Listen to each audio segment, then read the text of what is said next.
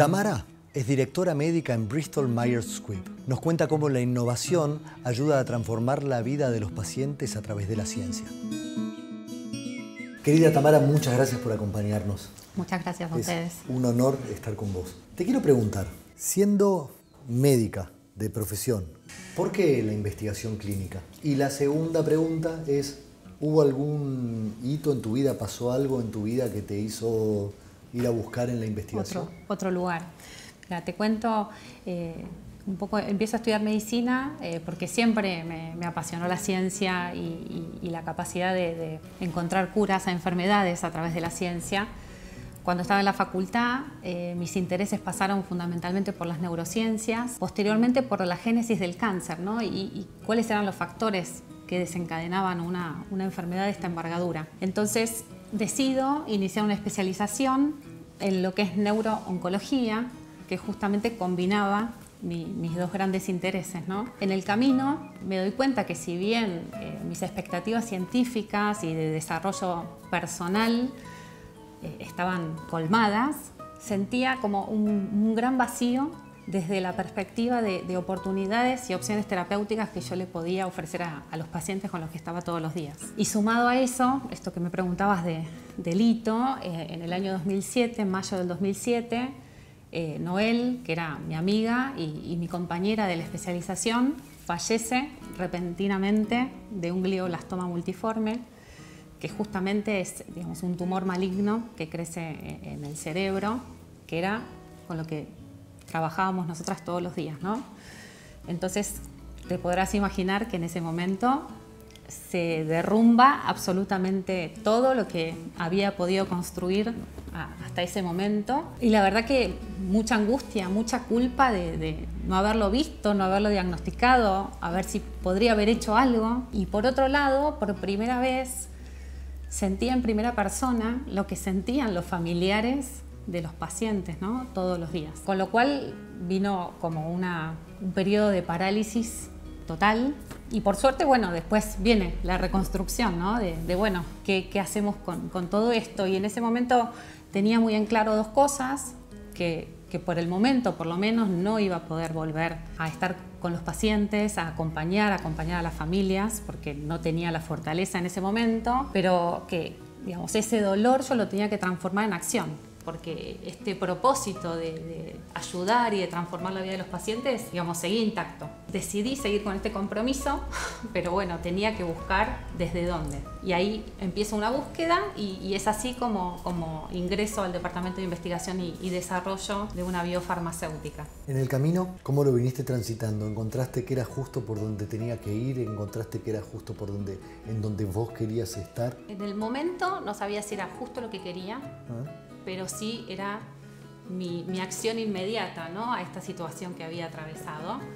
Y realmente hoy te puedo decir que estoy donde quiero estar, hago lo que quiero hacer y amo eh, el trabajo que hago todos los días. Trabajar en lo que es investigación y desarrollo genera ver que los avances de la ciencia se puedan traducir en medicamentos que lleguen a los pacientes. ¿no? Entonces, en ese trabajo diario creo que es fundamental este, este propósito común de que el paciente esté en el centro porque de esa manera se hace realidad, porque por ahí uno habla mucho de los avances de la innovación, pero finalmente si eso no se traduce en algo real que le llegue al paciente, perdimos el tiempo.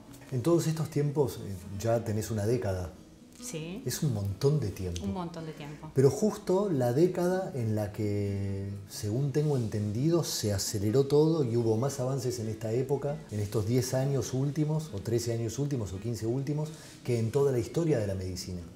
Completamente, mira. Eh, te puedo decir que eh, cuando entro al Departamento de Investigación y Desarrollo se estaba trabajando en algo que se llamaba inmunoterapia que para mí era completamente nuevo. Y en el año 2011 tengo la, la oportunidad de moverme del departamento de investigación al departamento médico justamente porque esa terapia era una realidad para los pacientes y había que implementar, digamos, eh, los entrenamientos, eh, eh, cómo hacer llegar esa medicación a los pacientes. ¿no? Lo interesante de la inmunoterapia que trabaja con el sistema inmune del paciente y, lo que hace es fortalecerlo para que realmente pueda autolimitar el crecimiento de la enfermedad. La primer llegada a la inmunoterapia fue para el melanoma metastásico. Y el avance que yo te puedo decir 10 años después es que, digamos, esta buena noticia se trasladó no solo al cáncer de, piel más agresivo, sino que también al cáncer de pulmón, al cáncer de, de riñón, al cáncer de vejiga, a los tumores gastrointestinales y afortunadamente te podría seguir mencionando un montón más, ¿no? Con lo cual considero que es abismal el avance que ha habido en estos 10 años. Con la inmunoterapia lo que hemos visto además en estos 10 años, que lo que hemos ganado fue años de vida en los pacientes y muchos años de vida, pacientes que quizá tenían una sobrevida de 1, 2 años, hoy podemos hablar de hasta 10 años de sobrevida. ¿sí? En cánceres impensados como el melanoma, en cáncer de pulmón incluso, cáncer renal. La realidad es que ese es, digamos, el gran avance. Sí, la cantidad de tiempo que le queda y además pensar en una sobrevida larga. Exactamente. Que además en esa sobrevida, mientras tanto, la ciencia médica sigue avanzando a toda velocidad y si en estos últimos 10 años hubo más avance que en toda la historia de la medicina, dicho por especialistas. Completamente, estamos en ese camino. Incluso entonces esa esa sobrevida puede estar plagada de esperanza de que...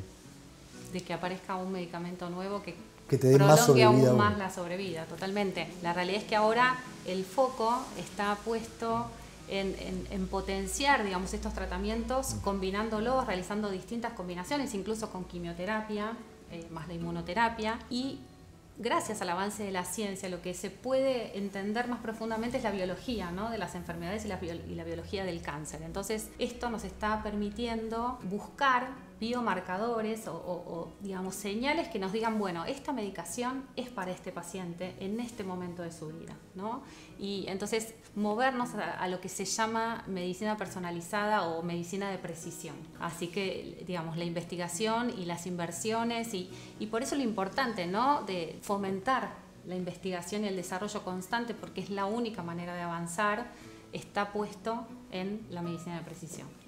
De precisión, sí, sí, sí. Vos sabés que en el año 89 me hice radioterapia con los equipos que había en un hospital, pero de tecnología de punta, ¿eh? Te estoy hablando de un. Sí, sí. Y hace cinco años tuve la posibilidad de acompañar a un amigo a hacerse su tratamiento de radioterapia. Y la diferencia entre algo que se agarraba y recuerdo todavía el ruido ¿no? Y de, que, y de ir poniendo la, la, mira, la, marcación, y cómo ahora era una cosa totalmente electrónica y en un, en un robot en el que te parecía que confiabas y que le tiraba realmente a una cosa precisa. Sin no, dañar nada alrededor. no era una cama solar, sino una cosa muy de precisión. Sí, totalmente.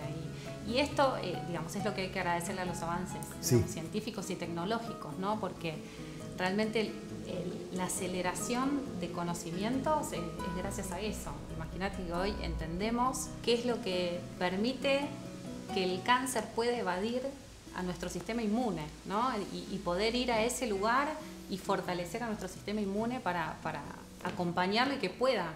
Contame de nuestros científicos médicos. Bueno, nuestros científicos médicos son excepcionales, son de primer nivel y, y la realidad es que es un placer eh, contar con un montón de, lugares donde se hace investigación de excelencia en Argentina realmente y que son pieza fundamental porque, de nuevo, cuando uno habla de innovación y terapias súper y, super innovadoras, si uno no eh, las conoce, si uno no las investiga en Argentina, no es lo mismo. No, no. no es lo mismo. Eh, entonces, todo el conocimiento que aportan digamos, nuestros investigadores es invalorable. Con lo cual es, fundamental y por eso lo importante también de nuevo, de, apostar a la investigación y apostar a, esto que es crecimiento, digamos, para, el país y obviamente transformar la vida de los pacientes por los que trabajamos. Sí, por Dios. Y en estos últimos 10, 13 años, eh, trabajando codo a codo con todos esos científicos médicos, contame por favor la experiencia, contame por favor cómo es ver que toda esa ciencia médica aplicada a los medicamentos últimos que hay para los tratamientos. Y la verdad que es, un placer y es un orgullo y, también la otra cara ¿no? de, humanidad. Mm. Porque no nos olvidemos que detrás de todo, o sea, detrás de los avances y detrás de las investigaciones, siempre hay un paciente que tiene una familia. Es súper interesante ver cómo se maneja eso al momento de que un paciente ingresa a un, a un, estudio, un ensayo clínico, ¿sí? porque no es lo mismo cuando el paciente ingresa a un ensayo clínico con esperanza que cuando es una droga que ya está aprobada y se sabe que va a funcionar. La realidad es que es un interesante porque es un trabajo mancomunado ¿no? con todas las partes, con los investigadores, con las biofarmacéuticas, con los pacientes, con las familias. La verdad que para mí un placer y esto que te digo, cada día que pasa es como que estoy más convencida que, que estoy donde tengo que estar. ¿Qué diría Noel? ¿Qué diría Noel? Porque qué camino, porque no es que abandonaste el camino, al contrario. No, no, totalmente. La, verdad es que la, veo todos los días sonriéndome y diciéndome, estás, es por acá. Es por acá. Es por acá. Exactamente. Y, nada, la, realidad es que tengo la cuenta pendiente con, con el glioblastoma y, digamos la investigación tiene la cuenta pendiente todavía con el glioblastoma. Tomo esto como, como señales, ¿no? Como cosas de, de, bueno, se hizo mucho, pero hay mucho por hacer y, y el propósito tiene que estar siempre vivo sí. y en acción. Sí. ¿Tenés forma de proyectar en el tiempo? ya sabés, sabiendo lo que pasó en los mm. últimos 10 años, ¿Tenés forma vos como médica y como, como científica, como investigadora, tenés posibilidad vos de poder proyectar en el tiempo? Me refiero más a la esperanza. Totalmente, bueno, focalizado en la esperanza hay mucho, hay mucho y viene mucho. Y, la realidad es que este terreno ganado en 10 años fue un montón. No te puedo decir que estamos cerca de, la cura al 100 del cáncer, ¿no? pero vamos por el camino correcto y esto de estar buscando qué medicamento para qué paciente nos está ayudando a, exacto, a poder ayudar en lo que cada paciente necesita. Y eso claramente es el avance y va a ser la solución para cada paciente. Siempre de la mano de, hábitos saludables, o sea, sí lo que hay que fomentar y trabajar mucho son los hábitos saludables, que yo creo que en los últimos años también la, la sociedad ha tomado muchísima conciencia en este aspecto. Entonces, hay un montón de cosas que creo que ya se está tomando conciencia, más los avances, más la prevención, digamos, el, poder hacer prevención. ¿Tenés en tu cabeza alguna parte de toda aquella investigación que haya llegado a un paciente y que, que, antes ese paciente no iba a tener, no tenía una cura a la mano y de golpe llegó aquello en lo que vos habías estado como parte en la investigación? Es, es muy loco porque cuando entro a trabajar en investigación y desarrollo, como te conté, empecé a trabajar con las inmunoterapias y luego tengo la posibilidad de esas inmunoterapias tienen la aprobación necesaria en FDA y posteriormente acá en Argentina en ANMAT. Y entonces es cuando paso al departamento médico para trabajar en implementar que esa terapia llegue, ¿no? Y con los investigadores que había trabajado, también tienen a sus pacientes en, su práctica diaria, con lo cual después ver que esos médicos que habían estado en la investigación también pudieron, digamos, llevar solución a pacientes. Pero tenés la conciencia de que esa gente está hoy tomándose un café en algún lado, está hablando con sus hijos, abrazando a sus padres. Completamente. Te agradezco mucho por el rato. Es importantísimo tenerte. A vos, muchas gracias.